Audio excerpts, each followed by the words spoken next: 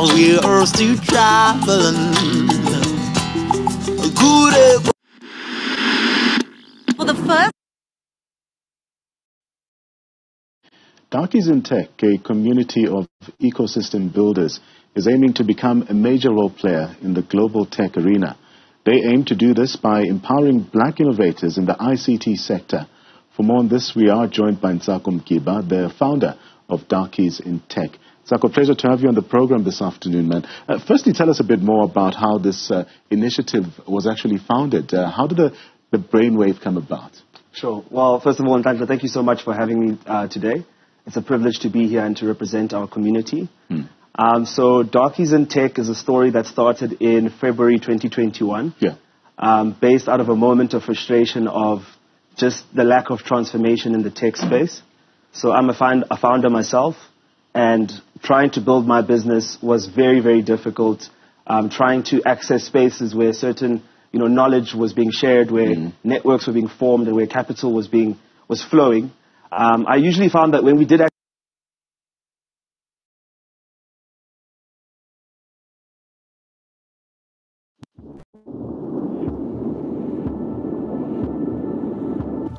Our stories begin right here, and we never write them alone. Sometimes we write them with someone who puts our story first, other times with someone who puts their own story first.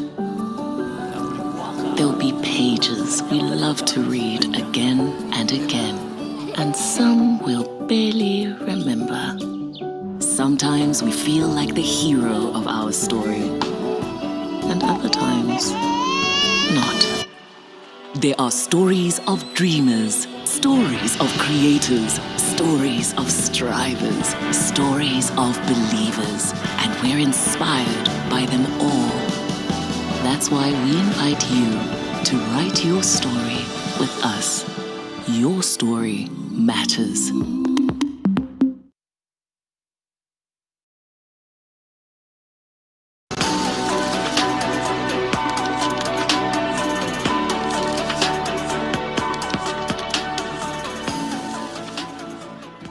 Hi, my name is Charles Oj.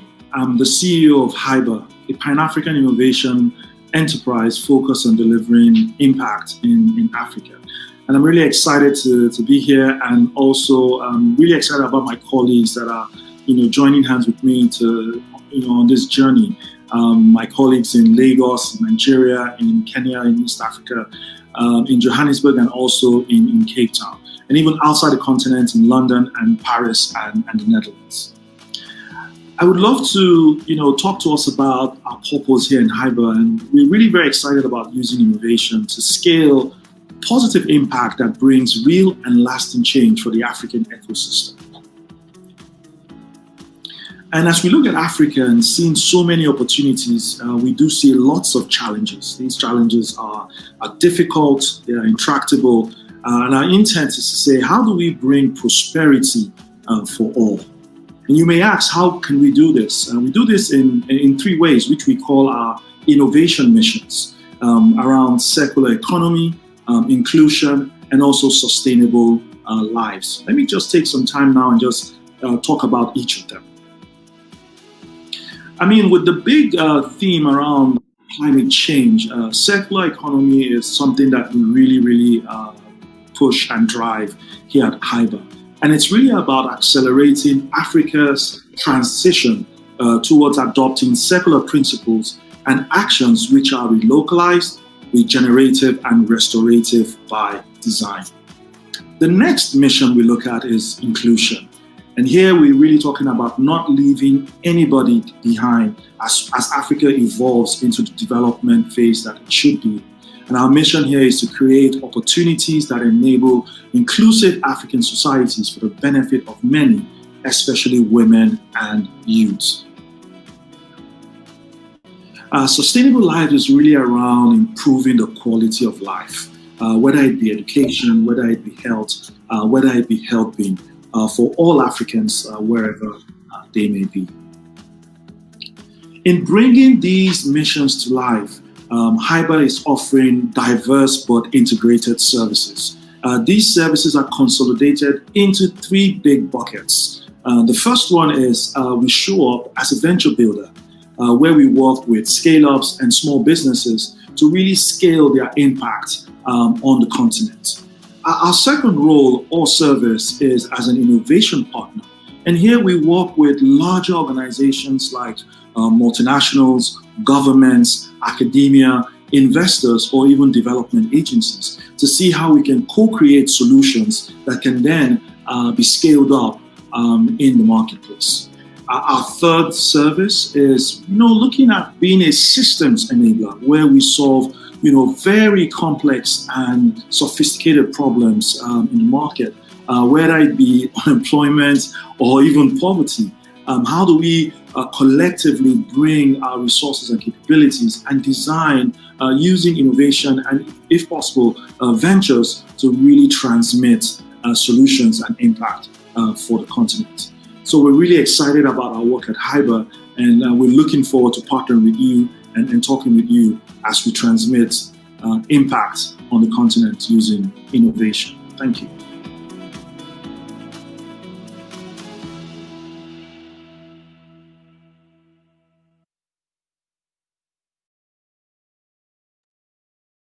Well, good evening and welcome, everybody. Thank you so much for taking the time to join us.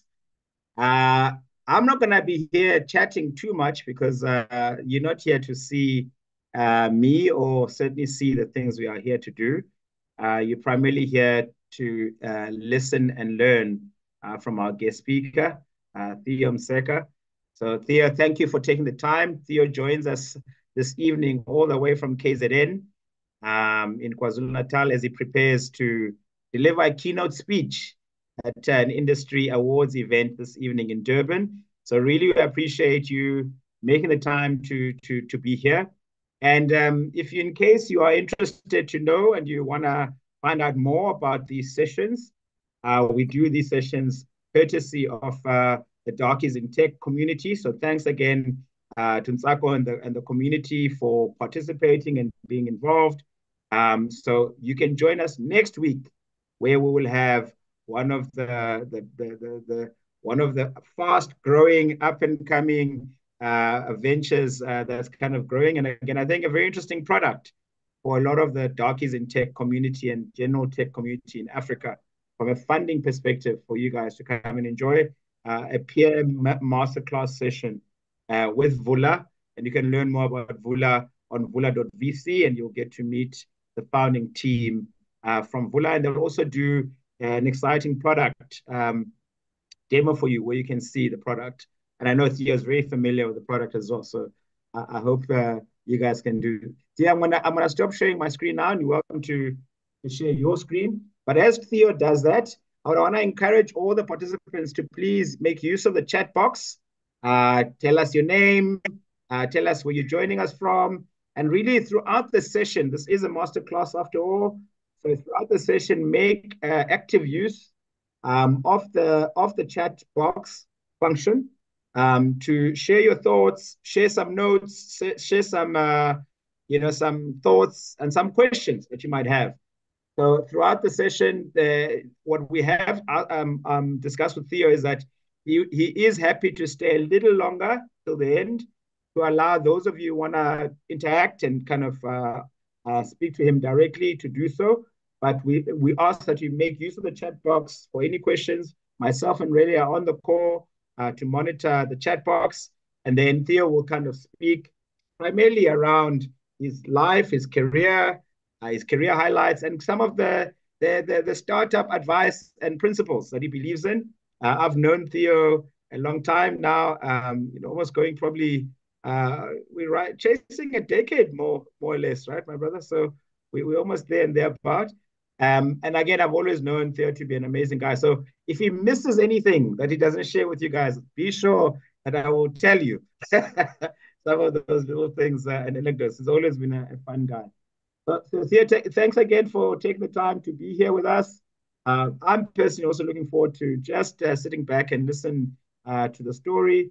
Um, yes, I know bits and pieces, but it's going to be nice to hear it, you know, uh, in long form uh, and and hear how you uh, share it with us uh, with in your own words. Over to you, Theo.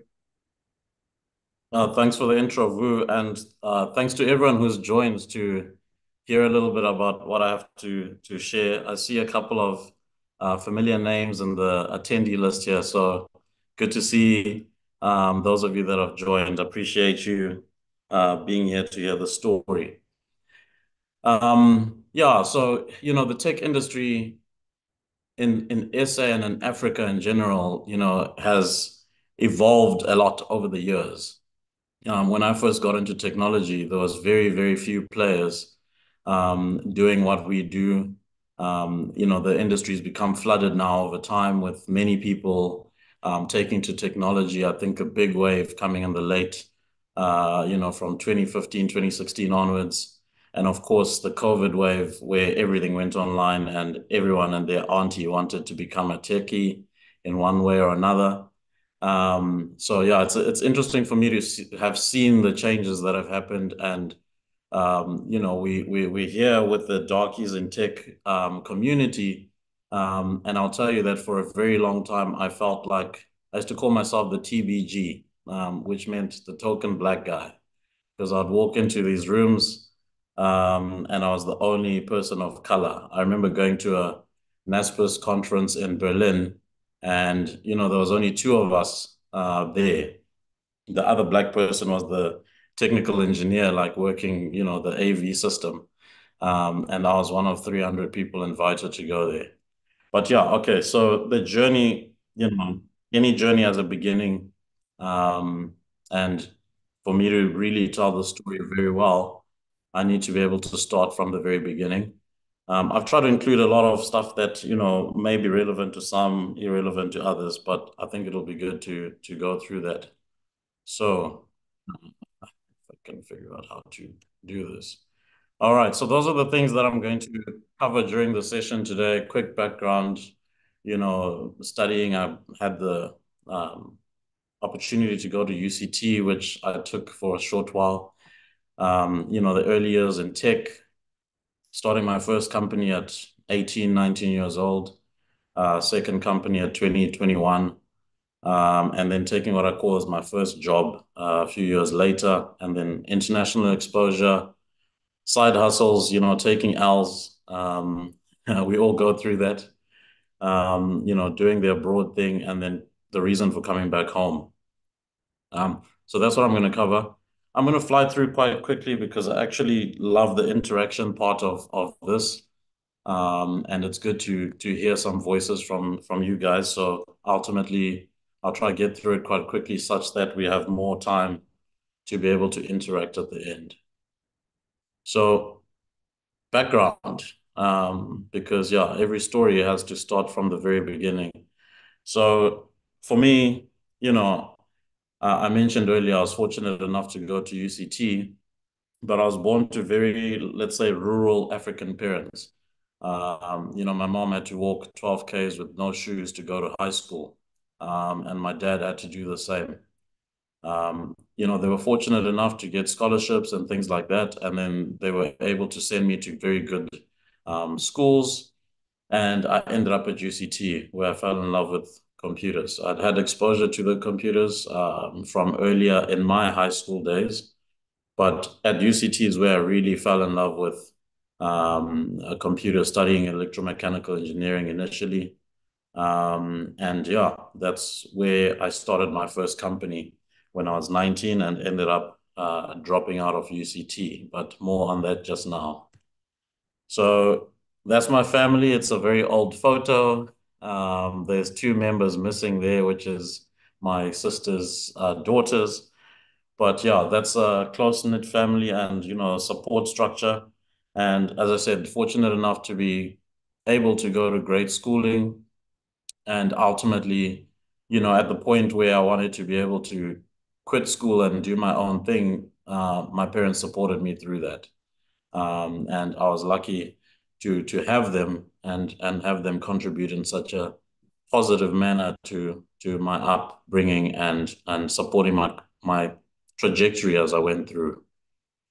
Um, the very first computer that I owned, you know, the 386 Windows machine, uh, you know, it had a floppy drive, which some people on the call might not know what it is, right? Um, but yeah, the use of that machine for me at those at that stage was largely to play play a game called Prince of Persia, which in comparison with some of the gaming today, um, you know, it really was uh, archaic. And you know, I'm a little embarrassed to say that that was my my beginnings to computing. Uh, that and the snake thing. Um, by the way. And this was, you know, uh, Prince of Persia, the version I played was released in 92 um, and it was very 2D and you can see how jaggedy the edges are and things like that. I'm sure some of you on the call can probably build something like this within a few days these days. That's how advanced technology has gone. So early tech inspiration, my my high school uh, physics teacher um, doubled up as the computer lab administrator at the school that I went to, um, Mr. Matatu. I always credit him with giving me the inspiration to understand um, computing, how computers worked. Um, he built, my mom was a dentist, and he built her patient's database, you know, management system.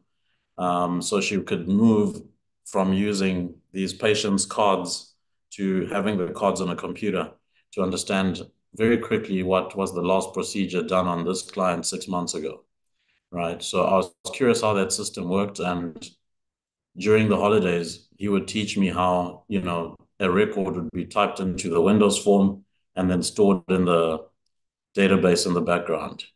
Um, the whole thing was built in DBase 5. Um, and yeah, I learned a little bit about, you know, the interface and how to add a button and things like that um, when I was in high school. But you know, in high school, you don't take anything seriously. Um, things really started to become uh, important to me computing wise when I got to UCT. So I got to UCT and I found the first year for most of the things I was doing relatively easy. So I ended up um, spending a lot more time on the things I wanted to know, um, which was computing. But during my first year, I had a girlfriend who introduced me to her best friend's boyfriend, and uh, his name was Chris, who was studying botany. Uh, botany because he didn't want to work behind a desk. He wanted to be out in the field, um, you know, checking out vegetation and things like that. Uh, but Chris and another friend of ours called Pete, they used to have um, a small business called Packet where they sold computer parts to other students on campus. So if you needed a new graphics card or a keyboard, mouse, you would buy it from these guys. And what ended up happening was um, one of their family friends needed their office network to be built. Um, it was an NGO, and ultimately they needed help to, you know, lay the physical um, you know, cat cable around that office. That's me and Chris, by the way, a long time ago. I hope I still look the same if I tilt my head like this and have that little smirk. You guys might think it might be the same guy. Um, so yeah, during that time, I went to help them to build this office network, like wiring physical cable. And then the guy who was running that NGO said to us, hey, guys, I need a website um, do you guys know anything about this? And I'd taken one course um, during my electromechanical engineering days, and I said, well, if you give us a chance, maybe we can build you a website. Um, and ultimately, that weekend jo job ended up uh, changing my trajectory and my interest. Um, and that was a big turning point in, in my life in general, not just my career. Um, because we started to you know, where we started was going to Google, and that was a very early version of Google you see on the right there.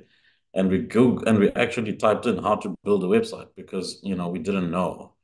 Um, then we found tools like Dreamweaver, which we downloaded. Um, Microsoft SQL Server 2000 had just come out at that point, and you know there was articles about it being a game changer.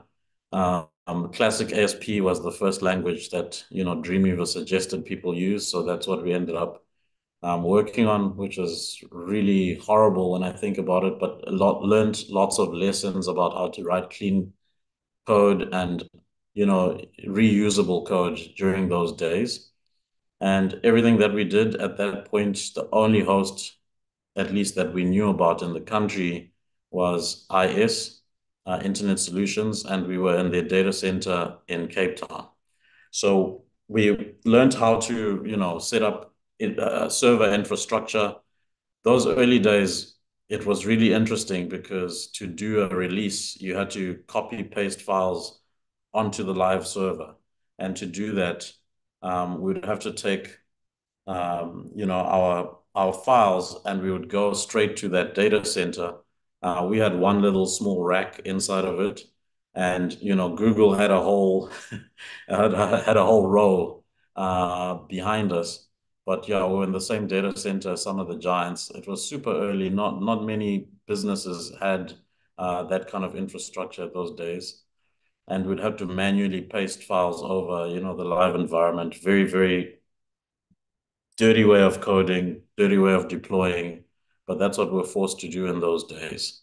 Um, yeah, so we had to physically drive to the data center to do a release um, and then copy paste files onto the live system. Um, but that mean, meant you have to have had proper tests and ensure that everything worked 100% before you went and just stuck it live. So that was the first kind of phases of developing and releasing. Um, and yeah, for that NGO website, I think it took us five to six months to build that. Um, we were paid 5,000 Rand back then.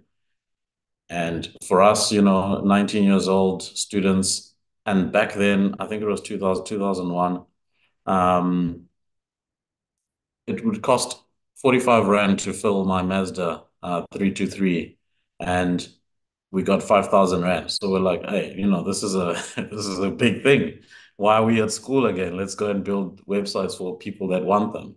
So we registered a company and that's our first logo on the right-hand side there. It was called Go Media. Um, yeah, and that website that took six months to do. Um, today it would take someone less than a week, maybe even, you know, one Saturday, someone could build that. Um, but technology has come a long way in the last 20 odd years. Um, so yeah, we created uh, Go Media, and I, at that point, um, you know, halfway through my second year at UCT, I decided to drop out and focus on building that business. Um, we worked from a garage in in Hout Bay where we lived for the first two or three years. Um, but then we started subletting from a real estate agency that had uh, a space in their office. And we took the little corner room, which you can see on the bottom uh, left there.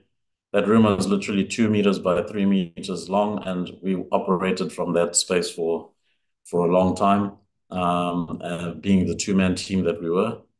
I think this was photos were a little bit later on because I'm seeing a laptop there, uh, probably around 2005, 2006.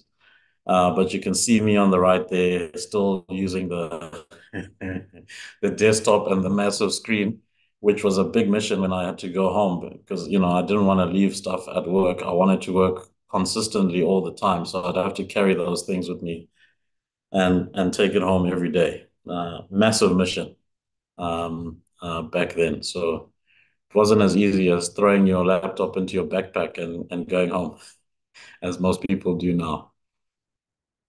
But yeah, so from there, we started to build websites for um, anyone and anyone and, and everyone that needed them. You know, usually it was the small art gallery here and the doctor there, that kind of uh, thing. It was hard for us to to get work and build traction, um, but we persevered because we were young and hungry and would work overnight, you know, and try and get things done very quickly. Um, and at some point, we were one of the biggest hosts, at least in the Western Cape.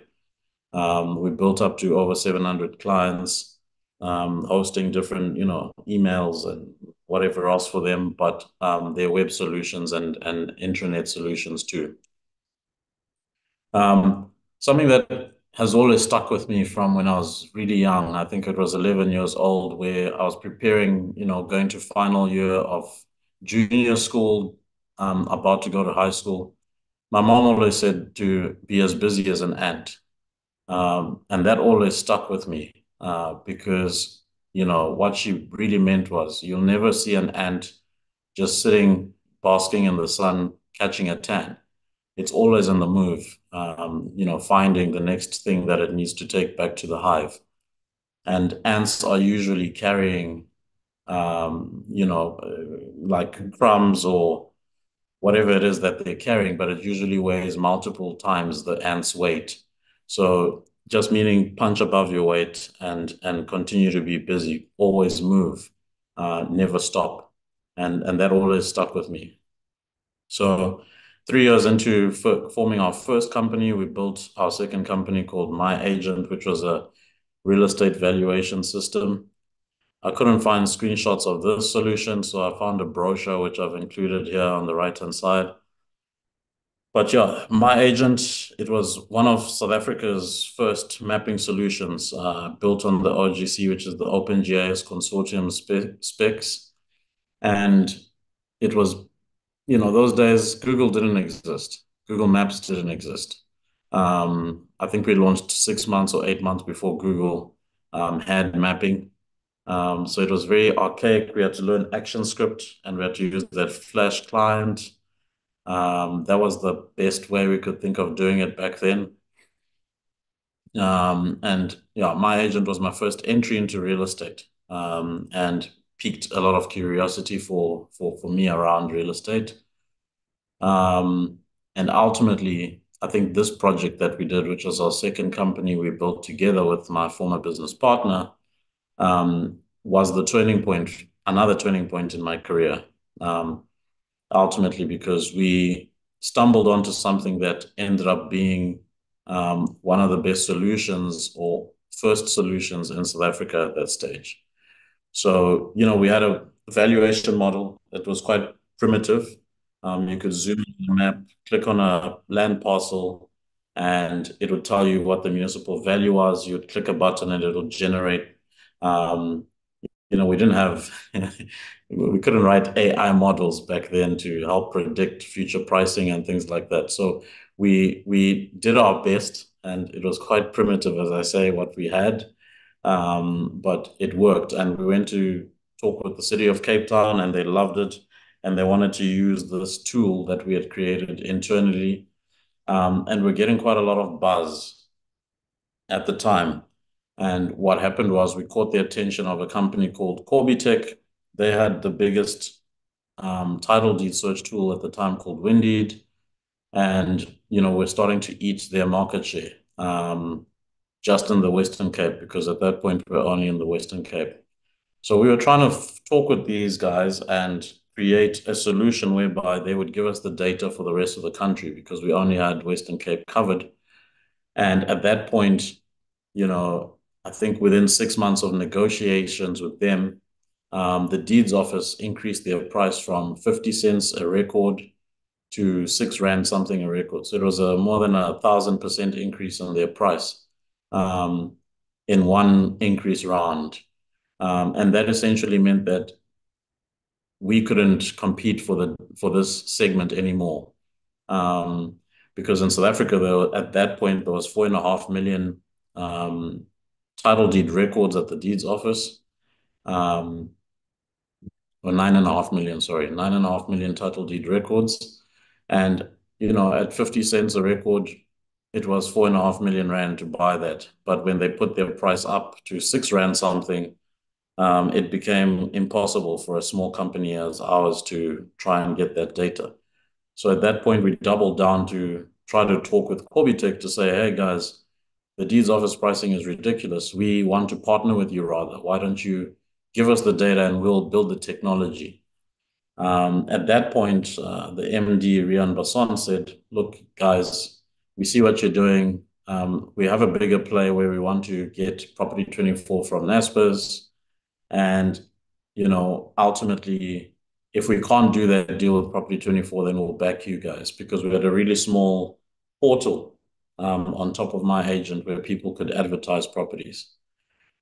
So ultimately, you know, that ended up leading to a few years later because everything took long back then, um, longer than it does now.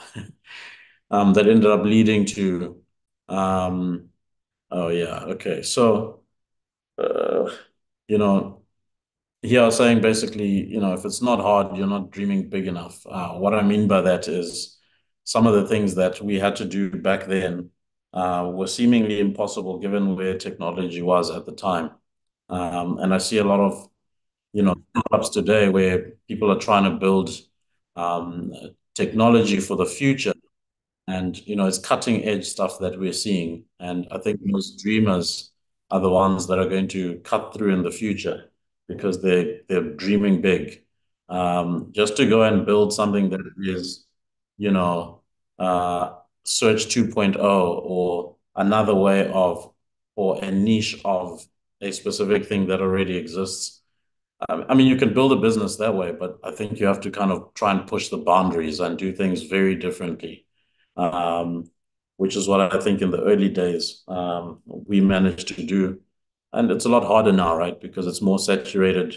Anything that you think of has probably been tried or done. Um, so you have to build tech differently to be able to cut through. So Go Media, okay, um, credibility. This is an interesting kind of uh, segue because we were a very small company, two-man team. Eventually, we grew um, from there, but we started to get traction through my hobby at the time. So at the time, I was doing this thing called salsa dancing on the weekends. So I was part of a dance group, and uh, you know, I got pretty good at it. Um, around 2008, I started traveling to uh, different parts of the world to partake in these salsa exhibitions. And, you know, my early dance group, which is, let's say, the photo in the middle, um, like it's incredible because when I look at that photo, I sometimes wonder how lucky I was to have such a hobby. Um, you know, the guy on the bottom left, let's say, yeah, his name's Ryan Hill. He's the head of Universal Music Publishing, biggest guy in music in Africa. And he signed Burna Boy, for example. But we met, you know, on the dance floor, like doing something that we loved on the weekend. Um, and I mean, I can mention a bit about the others, but for the sake of time, I'll skip. Um, but the idea that I got at that stage was I was traveling to, you know, Germany or Croatia or New York to go and dance. Um, and while I was there, I tried and find, you know, agencies that were outsourcing work to India. Um, and so we managed to find a German agency that would give us a chance. Uh, the time difference between us and Germany was um, small enough, like an hour in the winter and the same time in the summer. Um, and so they'd outsourced to an Indian company um, for a project which they'd given them six months to do. So we said, okay, give us the same brief that you provided that business, and we'll do the work pro bono on the side. And then you guys can compare the quality of the product at the end. Um, and because we want to, we want you guys to give us um, some of your work um, in the future. So we took on this project a few weeks after um, it had been briefed to another company. We delivered within two and a half months. It was a six months kind of project. We delivered within two and a half months, and then they had to wait for the other company to deliver their side. And when they compared the end product at the end of the day, um, they would have chosen ours. So from that point onwards, we started getting um, work out of this German agency and others like them because we now had a portfolio of international work we could showcase when we wanted to go to pitch to the next agency um, somewhere else in Europe. And all of that was made possible because, you know, I would go for two weekends in a row. The first weekend would be in Hamburg, Germany, the next weekend in, um, let's say, in London. And in that week, I had five days where I'd be working remotely, but just doing my own thing. And then eventually I thought, no, wait a minute, let's use this time to try and get you know, earn euros living in South Africa. And and that's what made um, made us end up going to do these pitches at the agencies. But if it wasn't for salsa dancing, I wouldn't have been there in the first place, you know. So the my hobby ended up building uh, indirectly credibility for our our business. Um, and yeah, so the German agency we worked for, we started to get bigger and bigger projects as we went on. Um, I mentioned about the pitch and the risk project that we took on, but yeah, our company ended up building so many different projects. Um, like we built the World Cup 2010 ticketing engine, which again was a big challenge um, because it was the first project that I you know, had experience in building a website that needed to be in 18 languages. And some of them were hard, like, you know, Chinese, Russian. Um, those are hard languages because you need to have the Cyrillic and the Latin. You know, it ends up being two languages you have to cater for um, for the one. And also multi-currency support um, for for for a platform. Um, uh, it was the biggest project at that stage that I'd been a part of. Um, and and yeah, it's one of the things I'm proudest of um, in my career. Uh, but again, if it wasn't for going to the German agency, we would never have been considered for those kinds of projects. Um, and the engine that we built for this ended up being used for the cricket 2011 and the rugby 2011 as well, the World Cups for those. It was a really robust engine um, uh, the way that we had built it. And some other clients we ended up doing while was to the Go Media was, you know, we built something for Total, which was an oil spill response system that they used mainly in West Africa, you know, Angola um, upwards. Um, we built Investec's first public-facing website for private wealth clients. Um, NightsBridge, which is responsible for, I'd say, 90% of you know, guest house bookings in South Africa, that engine um, we built in 2008, 2009. And my former partner and, and, you know, that business, they're still kind of maintaining that product, um, you know, 15, 16 years later. So that small business that we started in a garage and had a two by three meter office uh, ended up supporting over 700 clients, 800 projects, and we grew to a 15-man team that did websites such as the World Cup website for South African World Cup soccer. Um, and we I think we're the first or one of the first companies in South Africa to adopt Scrum methodology, which I think is, um, you know, um, most people in technology would utilize either you know, a version of Scrum or their own version of Scrum or some sort of Kanban, but we're the first um, to do this. And I took that to Korbitec, where I got my first, what I call my first job.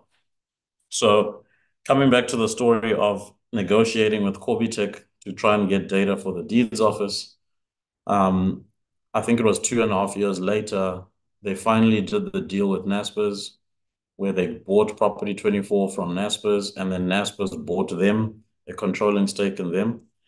And then, you know, this was a time before big businesses believed in remote work.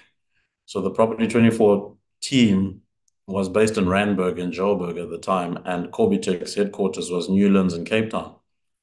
So they offered people to move to Cape Town, and only one person wanted to move. So they had to rebuild the entire team.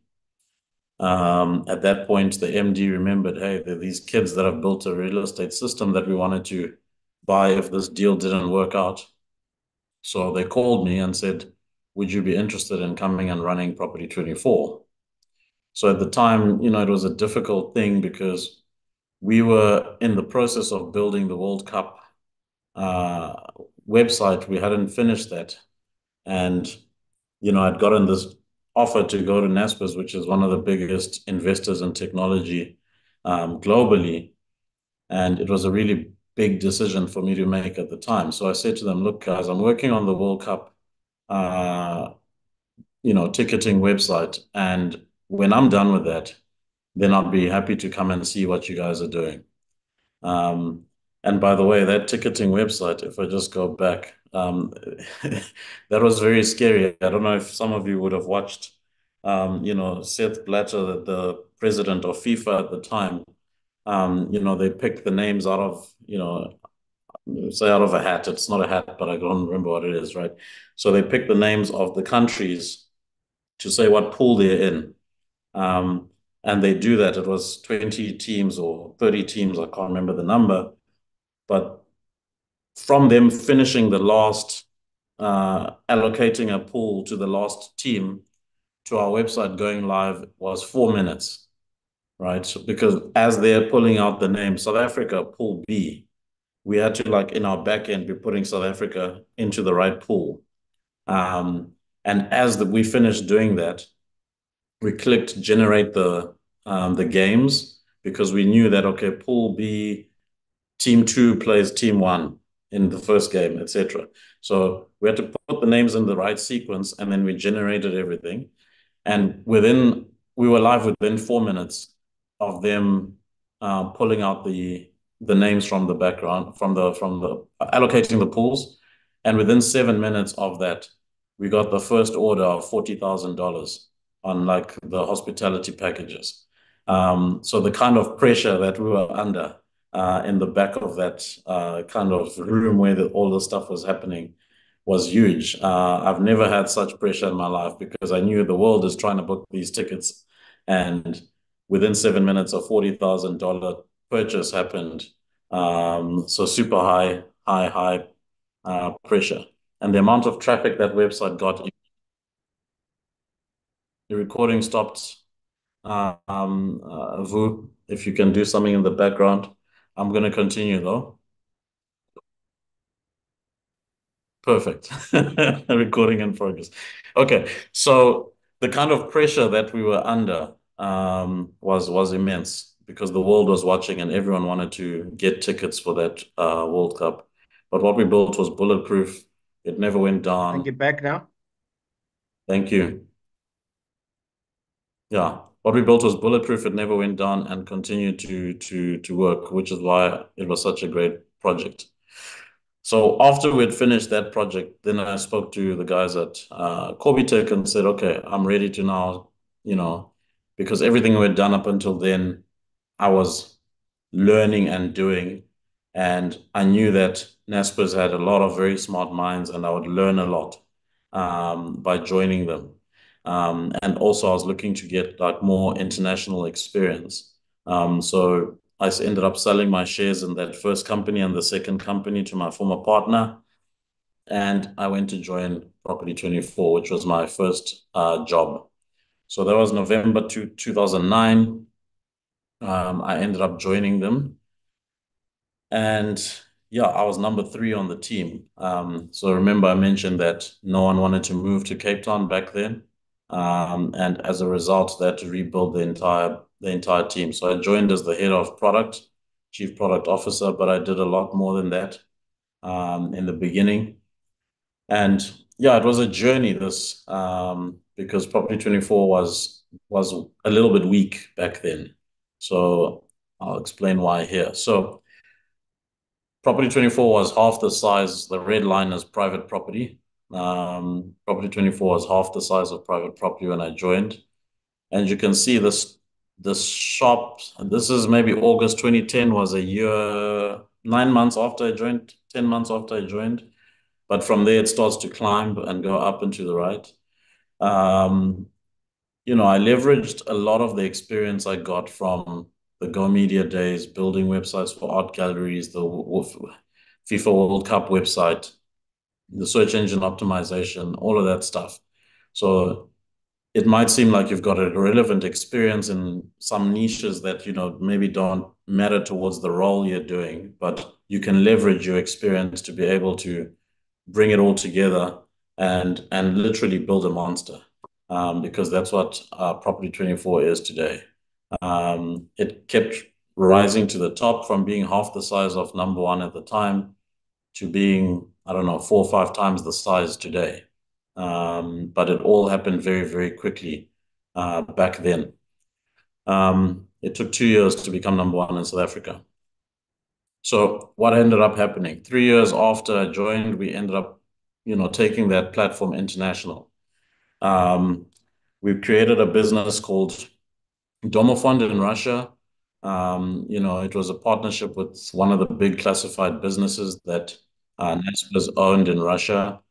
And we went from, you know, essentially it took 14 months to be number one in Russia from zero traffic. Um, and I would have to travel there, which I made a few mistakes in the early days of going there, but I'd have to travel to Russia two or three times a year and spend two weeks. Uh, note to anyone who wants to go to Russia, it's a really beautiful place and it's visa free for South African passport holders. Just don't go in winter. Um, you know, minus 30 degrees, minus 25 degrees. It's it's not fun. Um, but the summertime is beautiful, and Moscow is one of the greatest cities I've I've had the pleasure of visiting. Um, but the Property 24 engine, we ended up creating, um, you know, different versions of it, and so we launched in Philippines, Kenya, Nigeria, 17 other countries. Uh, but the Russian project was the most exciting one uh, because of the scale of Russia. Um, so again, this is screenshots from SimilarWeb back then.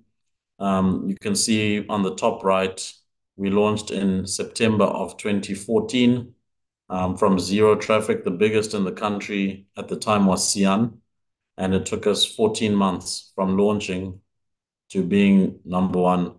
Um, zero traffic to seven and a half million unique users per month um, in 13, 14 months, which is massive. Um, what I learned from that is that you can have a good engine and that engine can work in another market um, if you execute well. And you know, South African platforms are very exportable. Um, there's lots of great tech built in South Africa that does well internationally. Um, it's all about the international execution. So product development is one thing, but product marketing is also important. And I think the marketing job um, that we did in collaboration with the Russian team, that was really, really powerful. Um, and and that's what drove this growth largely. So, you know, it's not just about building something, you need to also get people there. Um, and and these days it's gotten a lot easier to be able to drive traffic and engagement um, on on digital platforms. So another thing is can a you know can a good business model and technology engines work across verticals? Because it's easy to say, yeah, okay, you took the Property 24 platform, you added the Russian language and the Russian listings, and you ran um, because you understand the niche. It's easy. Um, you know, so we got a challenge in 2015 where again Naspers bought Auto Trader. Auto Trader was half the size of the biggest player the, in the market at the time. And we took that platform and we forked the Property 24 code base um, and we removed bedrooms and bathrooms and square meterage of the garden. And we added make, model, transmission type, and color of the car. And we we rebuilt Auto Trader. I think it took 11 months um, to rebuild the the you know, back end, front end, billing model, everything. Um, and yeah, Auto Trader today is more than double the size of the next player in, the in the market. Um, so again, another proud project because um, it was the first in a long time, having worked in real estate specifically for a long time, it was the first dive into something outside of real estate for me.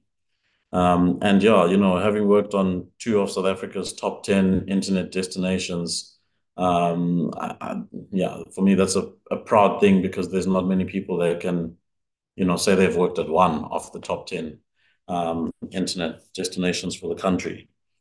Um, let alone be responsible for building them. But again, leveraging experience from early experience from Go Media, um, um, that's what helped to be able to to do this. So when you look at these two platforms today, you know, you always look at them independently, but I did this side by side just so people can actually see the similarity between them. Um, you know, it's pretty much the same platform, just little nuances. Um, that's Auto Trader on the right and P24 on the left. So ultimately, um, you know you can take something that's working and pivot it for something else and you can be as blatant as launching the same colors and branding um, because once you have a formula that works you can execute it in multiple um, niches. And, and that's exactly what happened. And people, I suppose, the affinity that people have with Property 24, it being the older, more established brand, that maybe transferred without them understanding why they love AutoTrader um, to Auto Trader, you know. Um, and yeah, it's one of you know the top 10 used tools in the country now um, as a result of that strategy. Um, okay, so side hustles. Um, Vu will know this very well because uh, you know we've known each other a long time. I've tried many things in the past and I've taken many L's. Um, so for me, L's, I don't mean lo losses because yes, many failures, but I see them as lessons. Um, ultimately, just highlighting some of the things here, but there's many others that have happened. I think it was 2014, 2015, before Auto Trader happened. Um, at some point, I decided that I I was spending a lot of time watching sport um, online, or not online, but on DSTV at the time. So on a weekend, you know, I was an Arsenal fan. I'd watch Arsenal play whoever. Then because Arsenal's rivals were Man United and whoever else, I'd watch two other games. And then I was also a rugby guy. So I'd watch the Stormers because I lived in Cape Town. I loved the Hurricanes and I loved the Crusaders. So I'd watch those three rugby games. And then at some point I thought, rather than doing that, if I'm going to watch sport, let me do it live. But let me take that 10 hours on a weekend and let me let me build something. So myself and a friend, we built a business called Tenons, um, which is what you see on the screenshot on the right-hand side. Tenons ended up being, you know, number two in South Africa for wine delivery, and it was a weekend and night project um, run by two guys that did both. Both of us did other things. Um, at some point, we hired an admin person to handle the wines. And the hardest part about this was keeping the inventory up to date uh, because the vintages change twice a year in February and July. So we would get our our friends that we knew and would hire students and uh, yeah, I forgot to put those pictures in, but I, I, would have a table or tables with 20 people for three days in my house, um, just updating, you know, the imagery and the details around you know, the single 2014 single block Chenin Blanc becoming a 2015, um, you know, and you have to change the bottle and everything with it. But super early days for for wine, specifically online. And if you look at that design, that's from 2014. Um, and and I think it's still fresh compared to some of the platforms you would see today. Um, we ran that for four or five years. When I moved to Turkey, my business partner for that venture didn't want to continue with it, so we shut it down. Um, other things tried. Uh, Ticket World was, you know, I was doing events at the time, uh, All Out Salsa Festival, which is the big one. But I built something called Ticket World, um, which I thought I would compete with CompuTicket for with at the time. Um, you know, today there's five, six different ticketing platforms. Um, back then, there was only CompuTicket, and I thought the user experience of it was horrible. So Ticket World actually was working quite well. Um, why didn't it work? It didn't work because I had a job and I didn't have marketing money to compete with CompuTicket um, ultimately. But the lesson there was if you've got something that's working, double down on it. You know, don't be afraid to um, go out there and seek funding and jump into it. Because if I'd done that back then, I think, you know, it could have been the biggest ticketing platform, not just in South Africa, but probably for Africa. Um, uh, maybe another one I can mention is Fanya Kazi. Fanya Kazi was a micro jobs platform um, early on, also around 2015. Um, the concept there was to get service providers to register and then people could book based on reviews. Um, you know, so yeah, businesses such like SweepSouth and Domestly and uh, whoever else has come along after the fact Um, I think those guys have done well, um, and you know I'd identified that niche very early on and and built a trial version of it. Um, but again, I at that point I was enjoying you know the Russian project and Auto Trader, and I didn't want to quit my job to go and run these side side projects. Um, but those are all things that I think, you know, as entrepreneurs, we shouldn't be afraid to try. We have the the skill set to be able to build stuff. You can try it, and actually, you can get traction very easily. It's become easier over time to to launch a business. You could decide on something today. Your website could be live by Sunday because the platforms allow you to build template-based, you know, websites to in this day and age. So it's become a lot easier than back then to be able to build a product. It's just about your mentality and jumping. Um, you know, if you put your mind towards it, you can do it. Um, the others I'll skip, I think, in the interest of time. Yeah, so 2018 came along. I took what I call my second job. Um, what happened was the business that we launched in Russia called Domofond, um, you know, from earlier on, we launched from nothing, zero to 7.5 million unique users, becoming number one in traffic in Russia. And what happened was there was a Turkish business that owned the number four player that became number five player after we launched. They looked at that and said, Oof, who are these South African guys that have just launched and overnight come and, you know, um, win the Russian market? And ultimately, they wanted someone from their team to go and do the same thing in Russia in Turkey. So they approached me, and I took my second job. I moved to Turkey. Um, big challenges there, you know, adjusting to a different culture, different religion, uh, different language. Um, but I moved anyway, and yeah, there were lots of challenges. Um, so language barrier being the biggest one. Um, you know, the business had 250 people, but less than 10% of the staff understood English. So I was forced to learn Turkish, um, which took me about two, two and a half years to learn. Um, by the time, you know, I was leaving, I was quite proficient in it. I took it very seriously um, to learn the language because, you know, as the CEO, I can't stand and give a speech to 250 people in English when they don't understand it. You need to be able to greet everyone in the morning as you walk past. Otherwise, you know, what kind of leader are you if you can't communicate with your team? Um, but yeah, that was very difficult. Turkish is a hard language to learn. Um, and, you know, if it was a, like Spanish or something, I would have probably learned it a lot faster. Um, and also continued with it after leaving because, you know, Spanish is spoken in a lot more countries. Turkish is only spoken in Turkey. So, you know, it's not a language you would that you'd get use of um, outside of being in Turkey. Um, there was lots of pressure on my family um, at the time because, yeah, difficult moving, being far from family support structures, etc. And then Turkey itself was a tough country to move to because of its economic and political challenges that they had. For context, when I moved there, you know, one US dollar would give you 3.25 Turkish liras. By the time I left, it was one US dollar gives you 30 or 33 Turkish liras.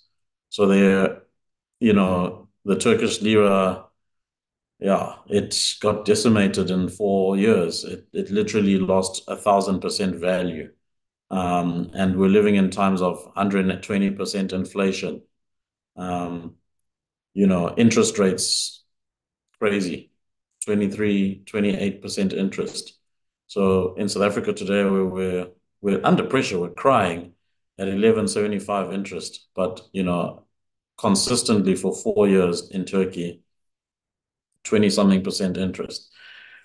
Um, really difficult. Um, but despite those challenges, you know, the business that I went to join is thriving. Um, you know, we from my second year onwards, we were growing our customer base 50% year-on-year.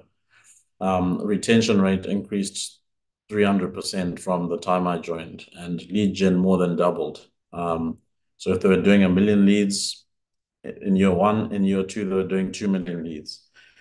Um, and the big thing there was I got there, the technology wasn't up to scratch. Um, I had difficulty with the CTO then. Um, we parted ways quite quickly, and I was the interim CTO for two or three months. And I was fortunate enough to meet a guy who had a startup in analytics, and an analytics business. And I, you know, negotiated to buy his company, um, which then meant that, you know, it was an acqui-hire type of thing. So that guy ended up becoming the CTO of the business, and he had 14 techies that ended up joining us and forming the base of the company. And then I also built the product plan in terms of what we would do. And from the time we started, we with the right click new project, basically, it took nine months to build uh, pretty much what you see today if you go to the Hepsiemlak website. Um, so again, leveraging experience from Property24, knowing how the market and niche works, um, we're able to then do that for the Turkish market. Um, 2022, you know, COVID hit. Uh, 2020, as you guys all know. 2022, I was like, I've lived through three years of this thing, far from family. I hadn't seen my wife at the time, you know. Um, she was stuck in Cape Town and I was in Turkey. We were separated for two and a half years. So I decided that I wanted to move back. Um, and in looking for what to do and to come, um, I ended up joining the Better Home Group. Uh, Better Home Group is an investor in the real estate ecosystem. I obviously know the niche quite well. And Better Home, you know, these brands and businesses you see here, except for the banks, um, are Better Home businesses, um, either fully owned or wholly or partially owned um, by Better Home. So I joined the group as head of marketplaces. Um, you know, and my aim for joining was to build this end-to-end transaction model where from someone looking for a home to buy, rent, um, or rent out or sell, all the way through to the transaction happening. Um, there's multiple touch points, 16 different touch points, and Better Home has a few businesses along the way, like agencies like Remax, you know, where you deal with the agent, or if it's a development, you deal with Red Eye. Um, and you know, if you need a mortgage, you deal with Better Bond or Mortgage Max in partnership with those banks. And the Switch, Switch X, is what does the mortgage switching. If you need data, there's Loom that will give you a, a report to say what is this property worth. If you need insurance, there's Bettersure. You know, so that end-to-end transaction model is what I was focused on until recently, where you know it made sense for me to be more involved in the place where I have deep experience in property and private property. Um, and yeah, recently, having been supporting the business from, um, let's say, the group level, um, they decided that rather I should use the experience I have in this niche and and run private property directly. So as of the 1st of May, which is quite recent, I became the CEO for private property. And I say that it's full circle of SA real estate because you know, I'm now basically trying to undo what I did 10 years ago or 12 years ago with building Property24 and making it so strong. I now need to elevate private property to compete with my former self. So I call it shadow boxing, uh, and that's what the image on the right-hand side is. Um, and right now it's day one of, or month one, let's say, um, and ultimately, you know, when you wake up in the morning, this picture that you're seeing now on the right, that's the sunset look. Imagine the sun behind, you know, that guy's me standing there, right? The shadow is long and looks like a giant in front of me. And that's what I see as Property24. It's a big giant. But as the sun comes over my head midday, right, that shadow is right underneath me and I can kind of maneuver. And a year or two from now, that's the sunset. Property24 will still be a giant, but that giant's going to be behind me. so that's kind of my analogy around fighting my shadow. Um, and yeah, you know, you can enter a market that has got a very strong dominant player, which is what Property24 is. Um, what I believe that if you do things smartly,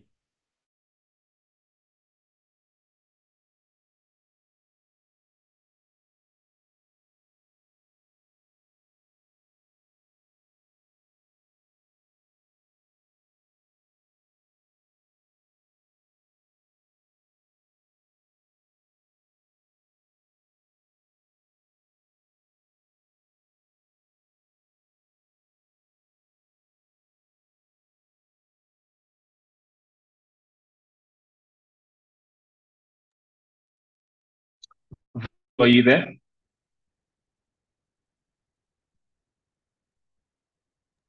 Yeah, it, look, it looks like we've lost Theo's connection.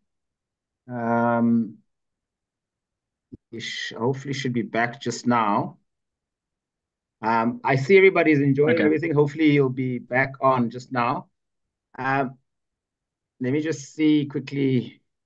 While, while we wait for him, I just want to remind everybody um, that we've got uh, we've got next week's session, which uh, in, is from Vula, and so you can continue to RSVP uh, via the link tree.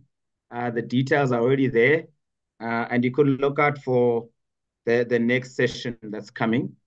Um, I know he wanted to be quite interactive. Is actually we I hijacked him while he's uh, busy preparing for uh, for a, an award. So again, I'm not sure if that's maybe got something to do with it, uh, but he Um, assured me that was going to be okay.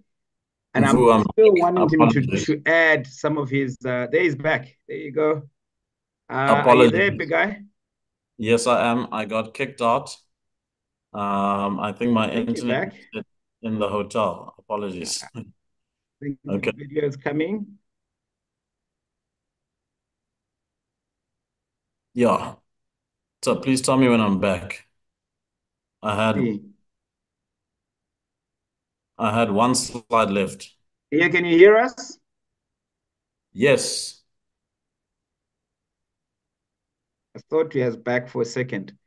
Um, Yeah, he's back. He's and back. again, I can hear already him. told Yeah, I can uh, hear his him. life experience. Uh, uh, I see he's trying to switch his camera on. We can hear him. Maybe try with the camera off. I'm not sure. Just at least we get the audio. Who he's back. Camera on, everything. Everything. Okay, Yeah, I think he's back. All I right, think are you you're back saying now? I'm back, but you can't hear me. Oh.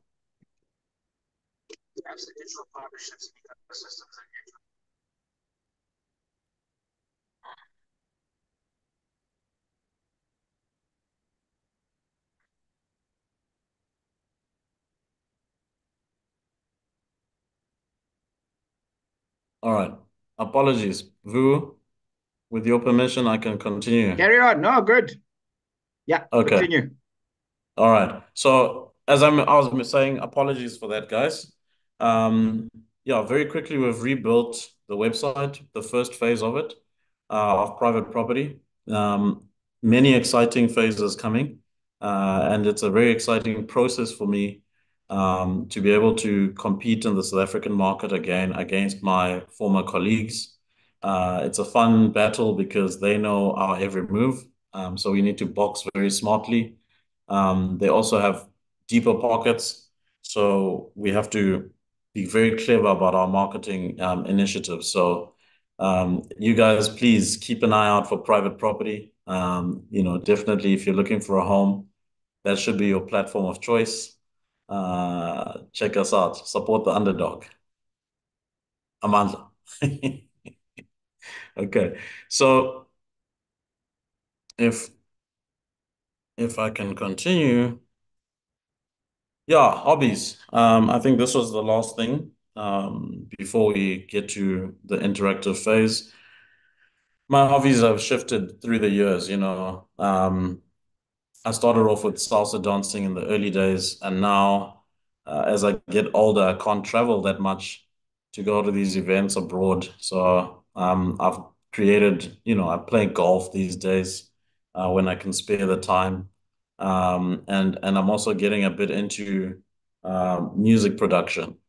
So that's my working from home desk over there, um, which you can see on the right-hand side with, you know, keyboards and drum machines and turntables on it. Um, I've got a vinyl collection. I sample from vinyl, and we making we're making music, but it takes up quite a lot of time. Um, and over the last eight months, let's say, um, you know, spending two hours on a Saturday or a Sunday is what I limited to.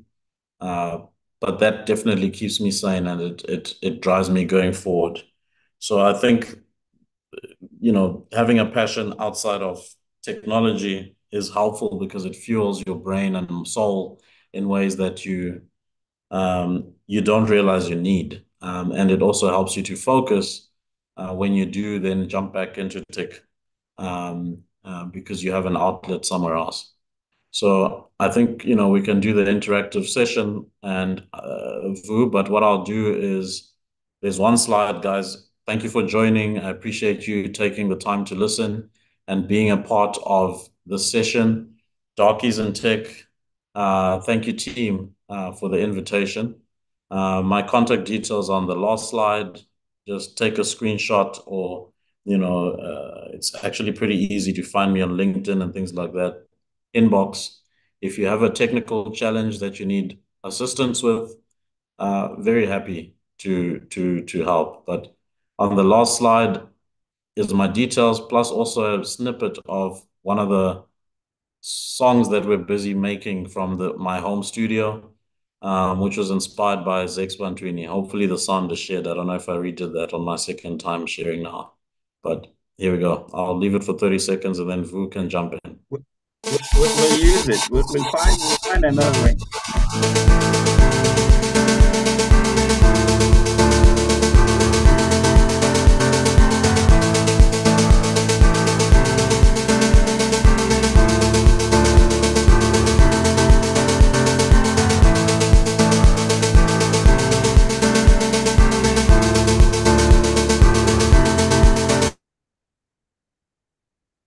So, so before before we all jump off, I wanted to quickly just ask you, Theo, um, five things for me that uh, you want founders to do when they're thinking about product, when they're thinking about scaling, when they're thinking about uh, expansion and growth, when they're thinking about building a product. Um, what five things do you do? Would you give them advice on um, to make sure that they do? Because I know uh, you know, um, you, you're very real about some of the stuff that guys aren't getting right. So what advice would you give them? Just five things, and then we'll open up the session and stop the recording and everything. Um, look, maybe wanna can I stop sharing? Uh, we think it might be easier.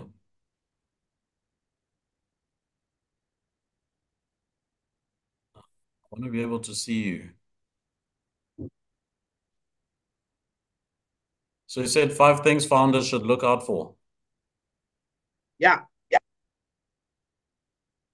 What well, I mean, what advice would you give any any any founder building in Africa right now, based on your experience? Like really, like hardcore advice, big brotherly advice, uh, no fluff, just straight, straight, straight advice. Okay, so firstly, you know, Africa is untapped.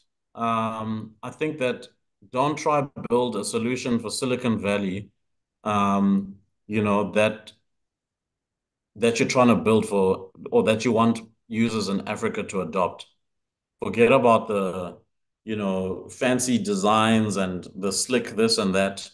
Um, build technology for the end user that you're building for. Product market fit at the end of the day, right? So um, I've seen solutions built for South Africa and for Kenya and for Tanzania and for, you know, um, Malawi, that if they were built and launched in the US, they would fly. But they struggle because those interfaces that are built, the user experience doesn't connect with the audience. Um, you know, take the time to understand what your audience want and need, um, and ultimately build that and then you can launch it to them. Once you've got adoption, then you branch out. Don't try to do too much too early. You know, if you look at property 24 today, it's very, very simple. Look at private property today, very, very simple, right? Because that's what the South African end user needs and wants. We're not trying to do all the fancy, you know, mapping and drawing of circles and dragging this and that. It's just simple. Um, and and and that's the beauty of it, the simplicity of private property today. Um, so cater for your audience. Don't do too much too quickly. Um, and when something's working, don't be afraid to double down on that. Um, because yeah, sometimes you see that you want to build the next thing, you know, the next monetization module instead of just pushing the first one a lot harder marketing wise and getting more users to use it. Um, those are common mistakes, and uh, you know we see it very often. And the conversations we have, um, you know, fortunate enough to know Vu a long time, so the kind of deep conversations we've had um, together, um, you know, those are the things that I just try to echo here, uh, because I think founders tend to um, to do too much too much too soon. You know, rather have a simple product that caters for one little thing and does that very well, and everybody loves it and uses it. Um, that's kind of the the the approach that I'd have for for African founders. Great, great stuff. So I, I want to give everybody a chance to interact, and I know you still have to. Uh, uh, you've got an event coming. You have to freshen up and uh, and look all CEO ready, CEO ready. Um, so let, let, we're gonna give uh, Theo the. I will give you guys the next 23 minutes for for Q and A. So let me quickly stop the recording. Thanks to everybody who joined us online. Um, really remember to join us again next week. We've got the uh, amazing team uh, from Vula joining us from London uh, in the UK uh, next week. Um, check out what they'll be doing, and again, they'll be unpacking their founder journey um, talking through some of their challenges, as well as uh, doing a product demo uh, um, for, for you guys. And again, I'm sure you've heard one or two things about the Vula platform. I see it gets mentioned quite a few times on the Darkies in Tech uh, um, community channel. So yeah. you get to interact with them and get to basically see what they're doing and building out of the UK into the rest of the continent, Africa, and the journey that they're going um, in doing so. So thanks to everybody online. Thanks to everybody who's watching this um, the recording, and hopefully you found the session um, useful. For everybody else, we want to encourage you to stay on the call on the Zoom, and then you, um, you'll uh, be able to to address some of your questions and some of the interactions to Theo. We'll try and go back to the chat as, as far as we can. So thanks to everybody um, on the YouTube and um,